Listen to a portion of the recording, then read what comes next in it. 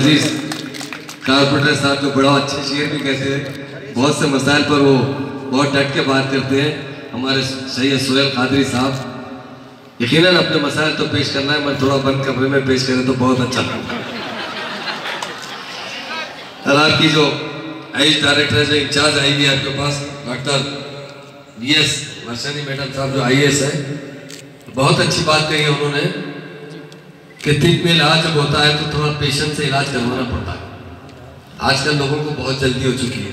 Phone आने की वजह से और जल्दी हो चुकी है। पहले फ़ोन नहीं था इंफॉर्मेशन नहीं मिलते थे खत के ज़रिए मिलते थे या कोई बंदा आके बोलता था तो हम लोग बहुत सुकून में रहते थे। अब तो ये प्रोग्राम करे तक दूसरा उधर से फ़ोन आ जाता कि वो प्रोग्राम अटेंड कर लीजिए। या गए तो बाज बाज तो मुझे तजुर्बा है। रात के दो बजे बार बार फ़ोन बन रहा है। बज रहा है। दो बज गया रात के। तो दो बजे एक से दो तीन बेल हो। गए तो मैं नींद में से उठा कि कोई इमरजेंसी है। तो वो साहब ने फ़ोन किया अरे आप मेहमद भाई बात कर रहे ना होम मिनिस्टर साहब ने बोला जी अमन अरे साहब मैं फला डिस्ट्रिक्ट का हूँ। मुझे यहाँ पुलिस वाले पकड़ लिए तीन सवारी पे। जरा बात की थी कांस्टेबल से तो फ़ोन की वजह से एडवांटेज और डिसएडवांटेज बहुत ज़्यादा हो चुके हैं। तो यकीन आज की जो महफिल है इसके लिए जो इसके ऑर्गेनाइजेशन से को, को कन्वीनियर साहब डॉक्टर ए खान साहब बहुत सी बातें बोले, मैं ज़रूर आपको इसका जवाब दूँगा। और इंशाल्लाह गवर्नमेंट में नुमाइंदगी करते हुए जल्द से जल्द करवाने की कोशिश करूँगा। और डॉक्टर शहजादी सुल्ताना साहब principal government, Nizamia Tibbi college. और डॉक्टर ए खान साहब, डॉक्टर अबुल हसन साहब, अशरफ साहब तो काफ़ी ज़माने से मैं जानता हूँ, उन्होंने शायद, मैं समझता हूँ, पहली मरतबा मैं उनके दवाखाने का इनाग्रेशन करने गया। इससे पहले बहुत से एलोपैथिक नर्सिंग होम बने। मगर यूनानी नर्सिंग होम शायद उन्हीं का मैंने इनाग्रेशन किया, उनके वालिद साहब के बहुत बड़े डॉक्टर थे। मुझे बहुत खुशी है, क्योंकि हम लोग आगे बढ़ना चाहिए, ज़रूर जब आगे बढ़ते हैं तो अल्लाह अल्लाह ताला की ताकत भी हमारे साथ रहती है।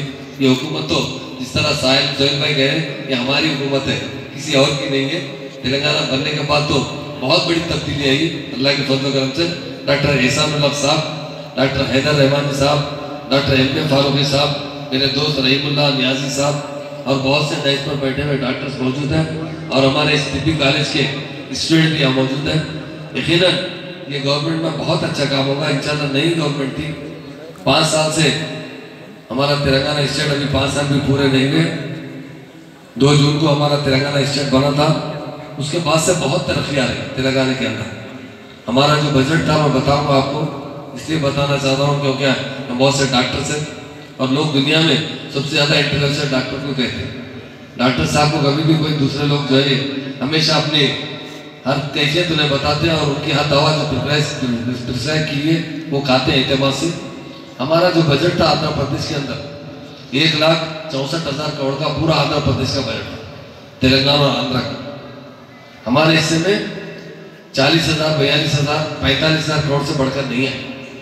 महाराज अल्लाह के फजल करम से हमारा जो पिछले साल का जो बजट था अठारह और उन्नीस का अब तो नया बजट आएगा और भी आ जाएगा एक लाख चौहत्तर हज़ार करोड़ का सिर्फ़ तेलंगाना का बजट तो हमारे सीएम साहब ने बहुत अच्छी तरीके से हुकूमत कर रहे हैं।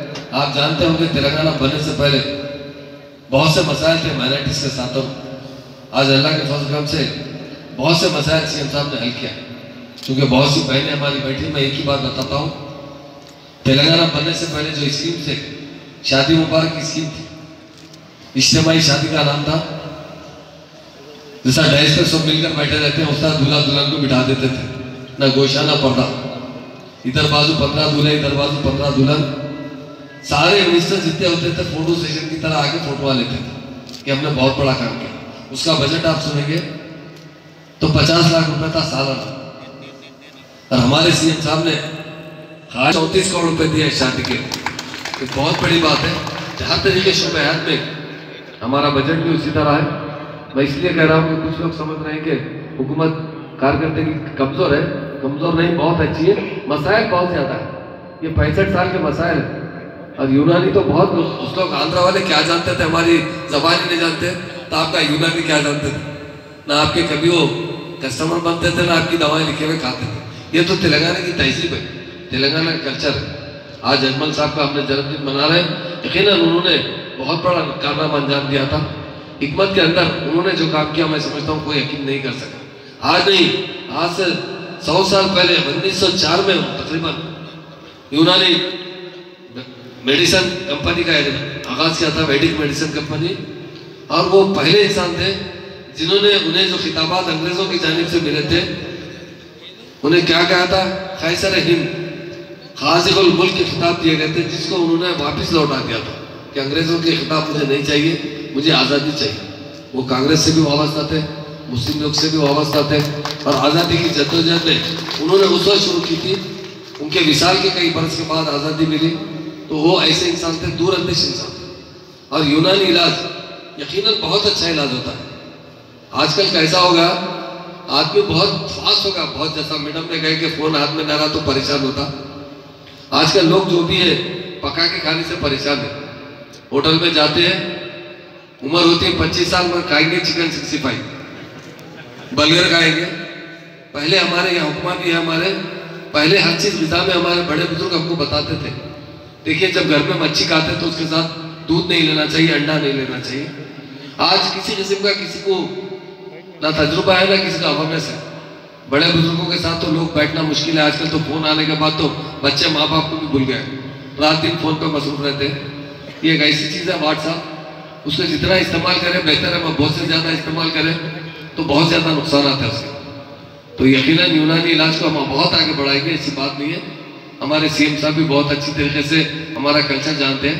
निज़ाम सरकार ने शहर के बीचों बीच चांदनगर के दामन में इतना बड़ा यूनानी दवाखाना बनाया था। उनकी यही ख्वाहिश थी कि यूनानी इलाज बहुत बड़े और उनके दौर में बहुत परवान चढ़ा। और हमारी बदकस्मती थी। कि हमारी स्टेट में डेमोक्रेसी ज़रूर आई, उसका तो वेलकम करते हैं। मगर हमें लग जाकर आंध्रा में मिला दिया गया था 1956 में। उसके बाद से मुसलसिल हमारे साथ नाइंसाफी होती रही। अब इंसाफ का सिलसिला शुरू हुआ एक के बेटे काम किया जा रहा है। यकीन यूनानी दवाखाना भी एक ही और एक दवाखाना बनना चाहिए। यहाँ पर स्टाफ की कमी है। ज़रूर वो स्टाफ को ज़रूर पूरा किया जाएगा। मुझे कमिश्नर मैडम चूँकि इंचार्ज है, मुझे अभी कहे कि साहब आपके साथ एक मीटिंग करती हूँ। बहुत जल्द आपका नारायणगुड़ा का जो दवाखाना बंद है, उसे चालू करेंगे। कि बहुत उनमें जिसमें जो है यकीन कुछ ज़रूर नाइंसाफ़ी हुई होगी। मगर इन ताला आगे बहुत इंसाफ मिलेगा। और यूनानी डॉक्टरों से भी मेरी गुजारिश है। मेरे वालिद कहा करते थे, बहुत यूनानी दवा खाते थे वो, और बड़े बड़े हकीमों के किस्से सुनाते थे। ऐसे ऐसे नाबीना हकीम थे। लोग उन्हें जो है डोरी बन के, तागा बन के, लोग किसी के नफ्स नहीं पकड़ते थे, वो तागे से नफ देखते थे। तो लोगों ने उन्हें क्योंकि वो नाबीना थे। तो एक भैंस के बछड़े को लाके वो बन दिए धागा बन के उनके हाथ को दे दिए। उन्होंने कहा, बछड़ा बहुत ठीक है, इसको घास और चारा चुन्नी भी डलवा के तो ऐसे हकीम हुआ करते थे। अब तो मुझे थोड़ी नाराज़गी भी हमारे हकीमों से कि वो भी मेडिसिन इस्तेमाल करते तो एलोपैथी के इंजेक्शन देते हैं। थोड़ा पेशेंट को समझाना चाहिए, काउंसलिंग करना चाहिए। हकीकत में जो इलाज है, यूनानी में जितना अच्छा इलाज है, पायदार इलाज है किसी जगह नहीं। एवरोपैथिक भी बहुत अच्छा है होम्योपैथिक भी है, पर एलोपैथिक तो कैसा होगा मैं सही बता दूँ ये डाकों का इलाज होगा। लोग जब शरीर करते हैं दवाखानों में, इतने पूरे रिपोर्टों पे इलाज करते हैं, उनकी कोई एक्सपीरियंस नहीं। आप टेस्ट करा के लाओ रिपोर्ट आपको शुगर नहीं है, अगर गलती की किसी की शुगर की रिपोर्ट आ गई तो आपको शुगर का इलाज कर देंगे। तो कई ऐसे इलाज करते हैं जिसकी वजह से बहुत से उसके नतज खराब मिलते हैं। जब आपको पेन किलर की दवा है, बहुत डेंजर दवा है कई लोगों के किडनी फेल होते हैं पेन किलर की वजह से। और यूनानी दवा खाने वाले का कभी किडनी फेल नहीं हो सकता मज़बूत।